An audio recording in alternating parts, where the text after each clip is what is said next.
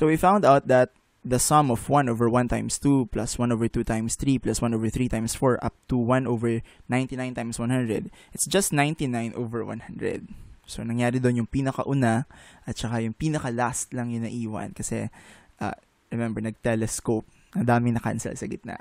Now, pag uh, binasa nyo yung learner's material nyo, you can see there uh, a formula for telescoping series. Their formula for telescoping telescoping series. And um, the formula for the telescoping series is uh, summation of of the quantity f times i plus 1 minus f of i over, uh, sorry, as i runs from m to n. And this is equivalent to, this is equivalent to um, f times n minus, n plus 1, sorry, minus f of m. So kapag daw meron kang uh, summation, tapos ang pinaka-rule niya ay yung next term minus yung previous term. Tama? i plus 1. This is your next term minus the previous term. And then the answer will be the last term plus 1. So the last term, yung next after nung last term. So yung term after nung last term minus the first term. Okay? Now, gamitin natin siya dito. Wow, yan. Gamitin natin siya dyan. Remember, we're going to get um, 1 over 1 times 2 plus 1 over 2 times 3 plus 1 over uh, 3 times 4 up to up to 1 over 99 times 100. Katulad ng ginagawa sa mga previous video, naglalagay ako ng mga 1 dito. 1, 2, 3, and then this is, of course, obviously, 1, and then this is 2, 3. So, ito 99th term.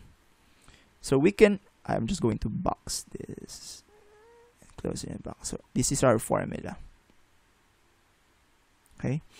And uh, for this, we can write this as the summation of, of uh, let's use um, i. So yeah, let's use i. i equals from 1 up to 99.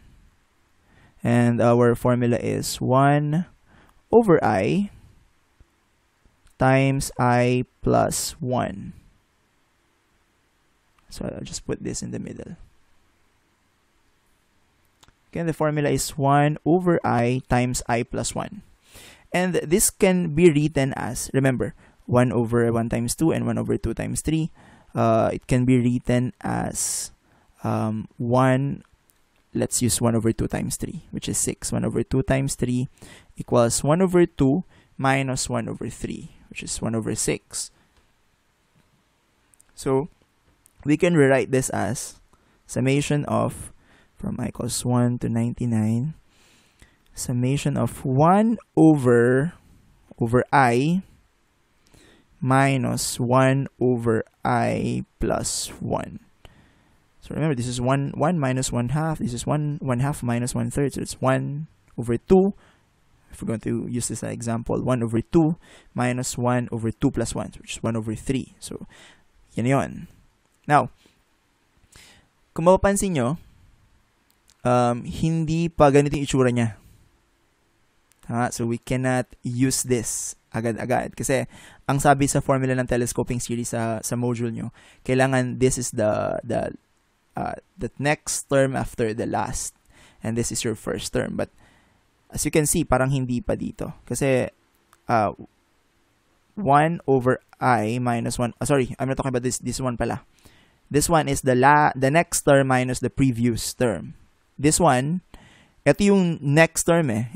So, kailangan baliktad sila. So, we can put negative sa labas. We can put negative sa labas. And then, uh, this will be uh, transformed uh, into summation of uh, mababaliktad tong loob. So, this will become 1 over i plus 1 minus 1 over i. Uh, from i equals 1 to 99. Now, this one, medyo recognizable na siya. Kung mapansin nyo, parehas na siya dito. Uh, this one is the next term minus the previous term. The next term minus the previous term. Itong negative dito, parang una dito ko muna siya nilagay. Dito. So, mababaliktad na yung tong terms na to. But remember, para pag naglagay ka ng negative 1 dito, may property ang summation notation na pwede siyang ilabas. Okay? So, ito na yung itsura niya ngayon. So, and then, if you're going to let your f, just going to let, let your f of i be equivalent to 1 over i, so, ibig sabihin, si f of i plus 1 is equivalent to 1 over i plus 1 because f of i equals 1 over i, then f of i plus 1 is 1 over i plus 1. And then, this whole thing can be written as this. So, ito na yung pwede natin gawing sagot. So, mangyayari, this is equivalent to f of the last term. The last term is 99 plus 1. 99 plus 1. So, it's 99. 99 plus 1 minus f of 1. f of 1. If you're going to uh, look at this, uh, you, you still have a negative there. Sorry, I forgot to write that. You still have a negative there. Negative equals, equals. So you still have negative here. And then, f of 99, so it will become f of 100 minus f of 1 and base from this base from this. So this can be written as f of 100 is 1 over 100 1 over 100 minus f of 1 uh, which is 1 over 1 or simply 1 so this is equivalent to uh, 100 minus 1 it's negative 99 over 100 negative 99 over 100 and this is equivalent to 99 over 100 which actually verifies our result over here